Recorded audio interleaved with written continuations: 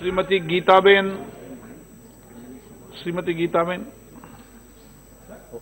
धन्यवाद अध्यक्ष महोदय। मैं आपके माध्यम से सदन में अपने लोकसभा क्षेत्र का अति महत्वपूर्ण विषय रखने जा रही हूँ।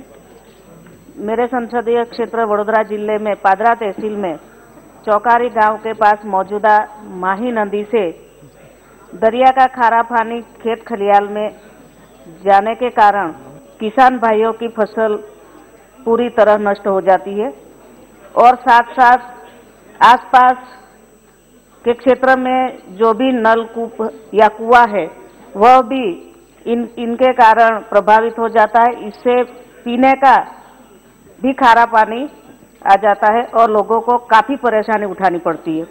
महोदय, इससे कारण वडोदरा जिला के पादरा तहसील के 37 गाँव वडोदरा तहसील के चार गाँव, भरूच जिला के जम्बूसर तहसील के चार गाँव और आनंद जिला के 32 गाँव, कुल मिलाकर 77 गाँव इससे प्रभावित हो हो रहे हैं।